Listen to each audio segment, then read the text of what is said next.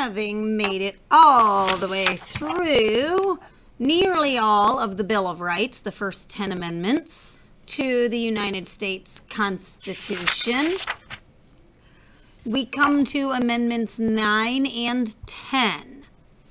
What do they have to say? Well, Amendment 9 says the enumeration in the Constitution of certain rights shall not be construed to deny or disparage others retained by the people.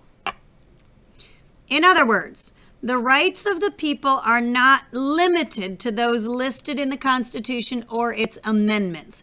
So just because the Bill of Rights and the Constitution and the other amendments to the United States Constitution do not say you have a particular right the Ninth Amendment says uh, we can't list every right that United States citizens have.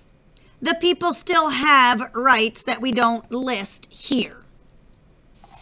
Amendment 10 then says the powers not delegated to the United States, in other words, to the federal government, by the Constitution, nor prohibited by it to the states, are reserved to the states respectively or to the people. In other words, the powers that are not given to the federal government are left to the states or to the people. And so this amendment was meant to keep the federal government under control. Your assignment for today, we have not done this sheet for a while. You had filled in pictures for the first three amendments.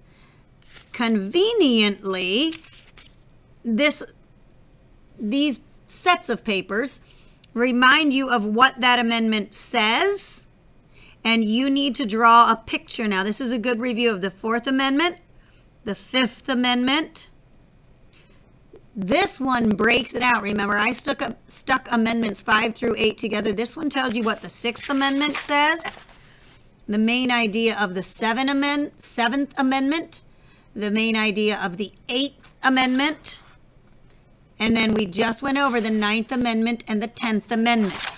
Your job today is to get pictures sketched for all the rest of them. That is your social studies assignment today. Take some time on it. Send me the photographs when you're done, please.